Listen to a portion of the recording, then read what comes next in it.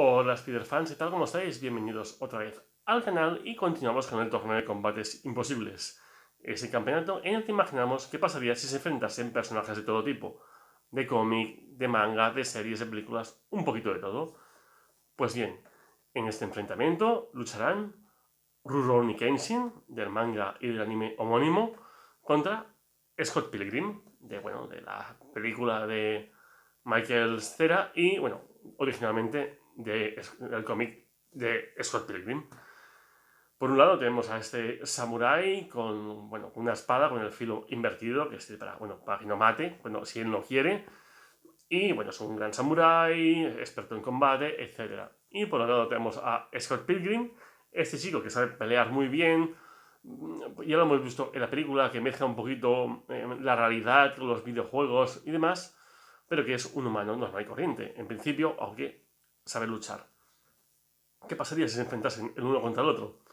Pues yo creo que Rurouni se vería bastante sorprendido por los poderes, por así decirlo, de, de que es capaz de mm, cambiar la realidad ¿no? en ciertos momentos, cuando pelea, es algo extraño. Pero eh, Rurouni Kenshin está acostumbrado a batallar y a pelear contra gente muy agresiva. Yo creo que Ronin Kenshin, utilizando su espada invertida, sería capaz de dañar e incluso tumbar a Scott Pilgrim. Y si hiciese falta, giraría la espada como para poder cortar. Así que yo creo que, aunque le causaría heridas, yo creo que Ronin Kenshin se sobrepondría al primer ataque y debido a sus habilidades y a su experiencia vencería a Scott Pilgrim. Por lo tanto, Ronin Kenshin pasa a la ronda 2.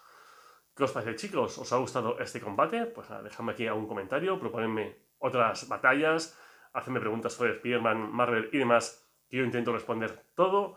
Recordaros que los jueves por la noche hay directo en el canal, a las 10 menos cuarto. Y si os gusta este tipo de contenido, por favor, dadme un like y suscribiros para seguir viéndome. Y saludos aránidos. Hasta la próxima.